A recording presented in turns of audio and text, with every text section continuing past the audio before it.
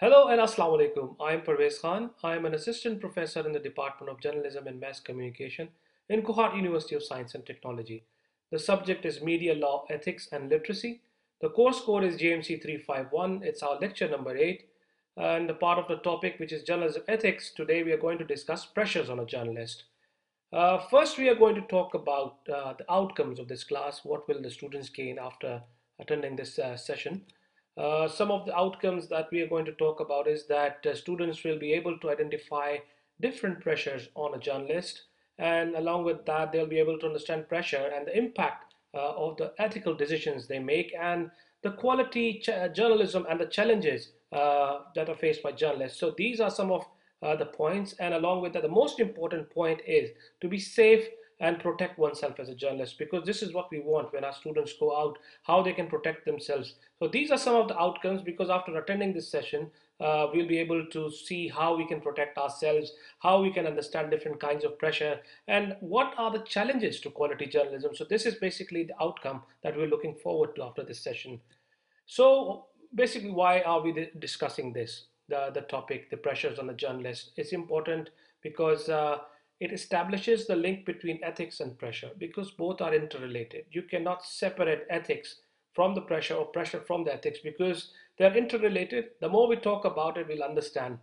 And how it affects our decisions because some of the pressures, they really affect our decisions. So this is why we are discussing it to understand the dynamics of journalism because the decisions we make have an impact. Similarly, how it affects the quality of journalism. This is an important point because the good journalism also depends on our ethical decisions. So this is why we are going to discuss this in quite detail and see what are the different aspects and elements that really affect our judgments as a journalist, that really have pressures, how these pressures affect us as a person, as a journalist. So this is what we are going to look forward into this lecture. So what are the different kinds of pressures on a journalist? It's important to understand, as you can see from the picture, uh, the, the, the, there are different groups that uh, you work for different organizations, you work for different, you have different employers. So the first one I'm going to go into is that uh, what is an employee's pressure? Who is an employer? Basically, we all know that employer is basically the one who employs you, who gives you a salary, who hires you, you work for the organization, and it creates a kind of pressure because they are the ones who are paying you and uh, they will expect you how you're going to work. So definitely there is an employer's pressure. There's an element to it that you have to look forward to because sometimes uh, it is there that it kind of create pressure because uh, the owners or the employers they also have a kind of tilt they also have kind of agendas they also have kind of different backgrounds that can force you to do their kind of work obviously if they're paying you they're expecting you to do work now, this is where professional organizations don't often do that, but sometimes it can happen. So if, if the organization is not that professional enough, so employer can dictate terms or agendas or what is liking and dislikings are.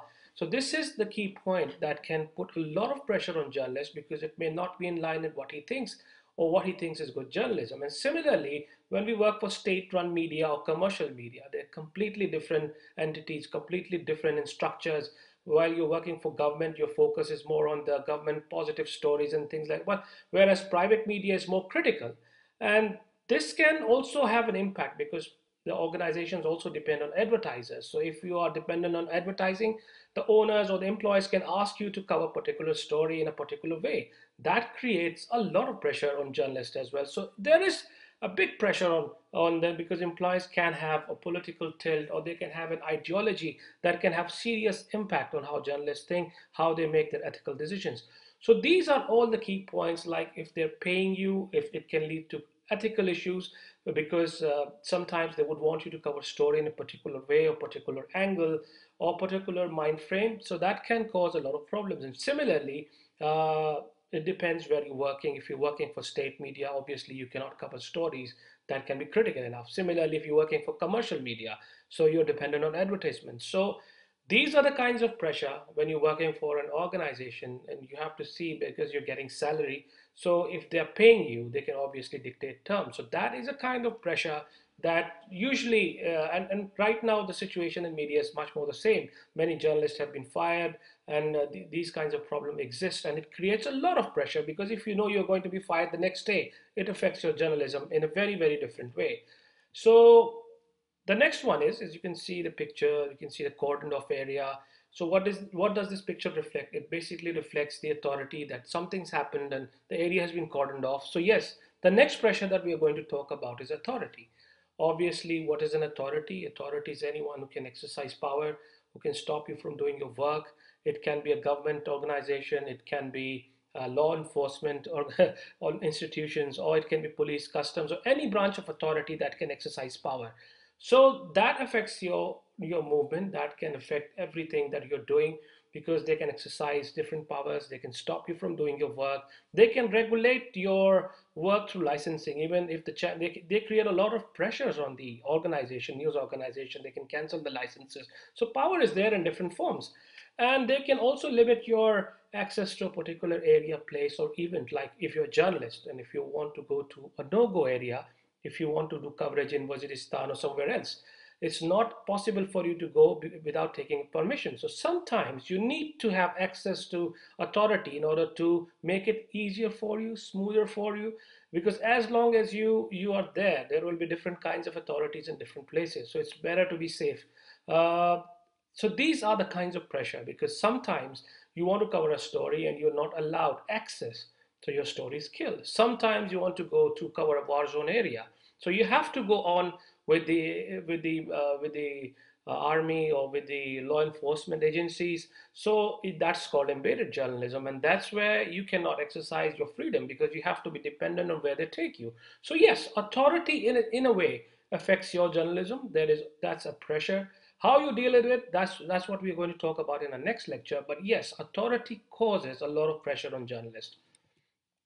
And uh, this takes us to our next uh, topic, which is uh, uh obviously next uh, uh, next pressure that is, that's threats. What are, what are threats? Obviously, we can see that journalism is all about going through different kinds of pressures and one of them is threats because when you're working obviously journalists face threats from different parties, groups, individuals. They're covering stories. It can come from any side.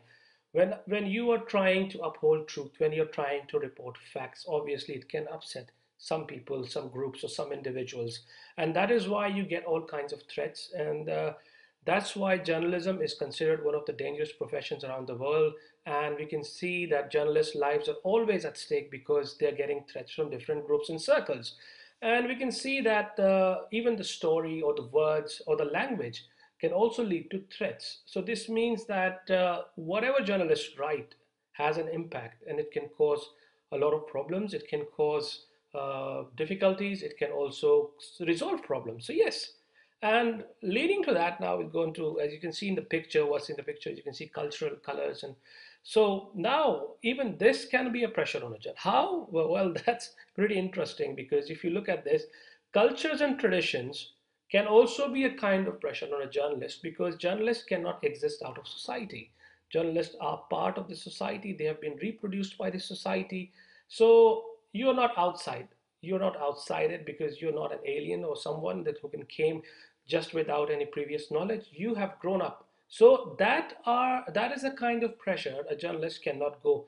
He cannot free himself out of this. The decisions he make will have an impact of the culture and tradition that he holds uh, in his schemata. Similarly, culture codes are deeply embedded in individuals.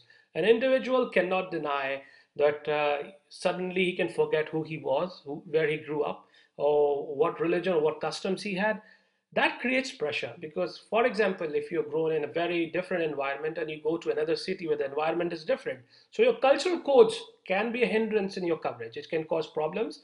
Sometimes it can be easier as well because some people are good at adaptability but that can be problematic. And similarly any traditionally held belief can affect journalists and it might affect a journalist story because uh, as i said earlier sometimes we think that uh, it's okay to cover a story from different place but when you go out there your previous schemata your previous knowledge your previous exposure that can overcome you and that can lead towards biased journalism So it's not wrong or right. And the, the thing that we're talking about is that culture and tradition will have a strong impact on your personality and it influences your journalism as well. It's, it's easy, people say that, oh, we must be impartial, we must look forward to balanced stories, but that doesn't happen because there are so many over-determining factors.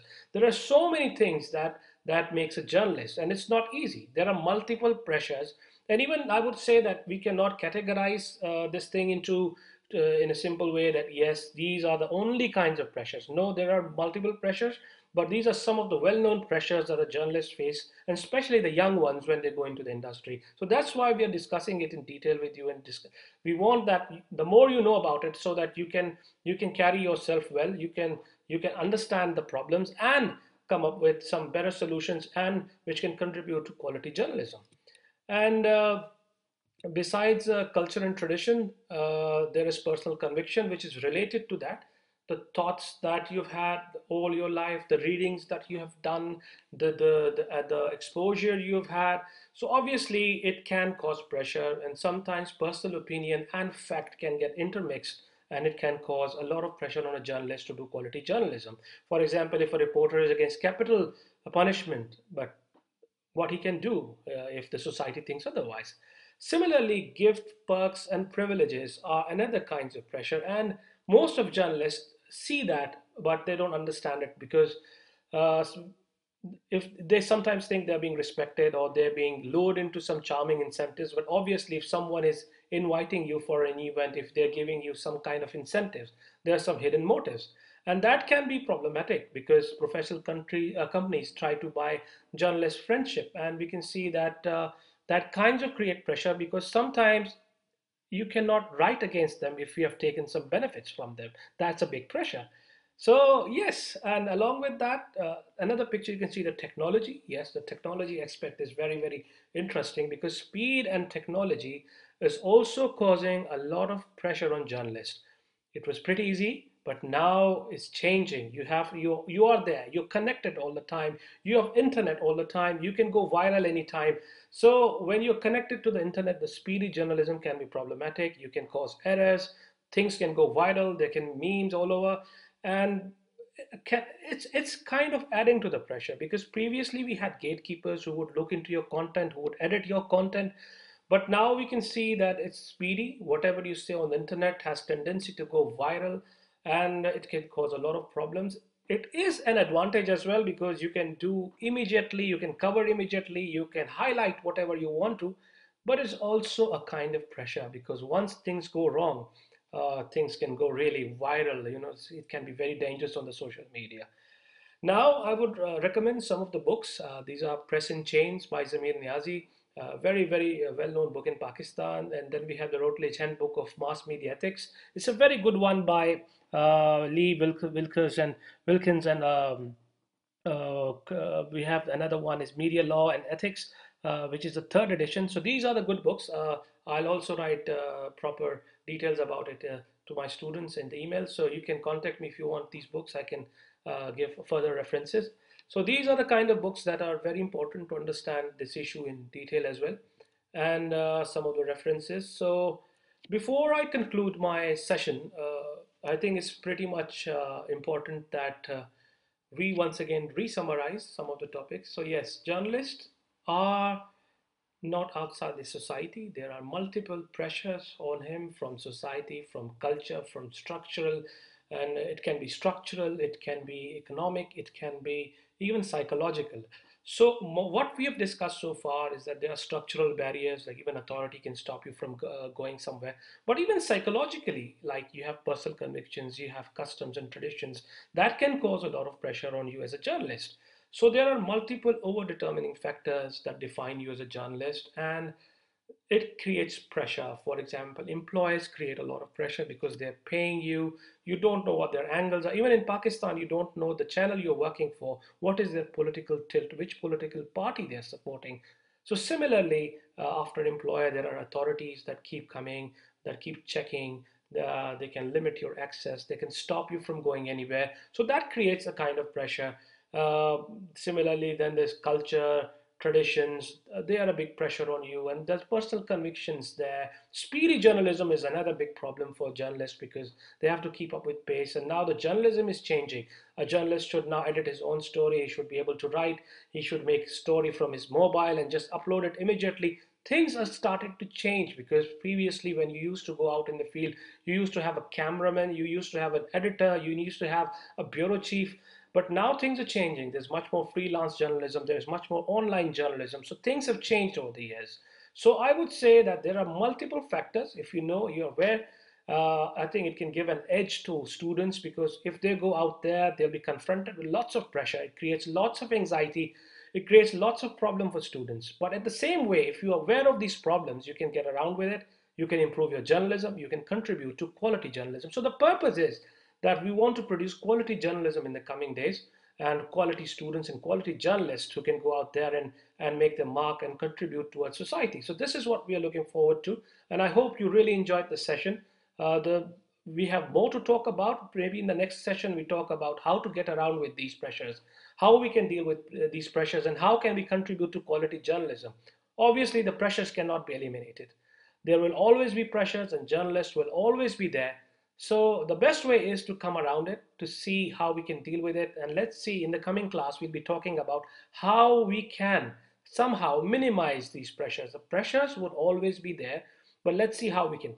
So I hope you enjoyed the session and uh, we'll be in touch, inshallah. Assalamu alaikum.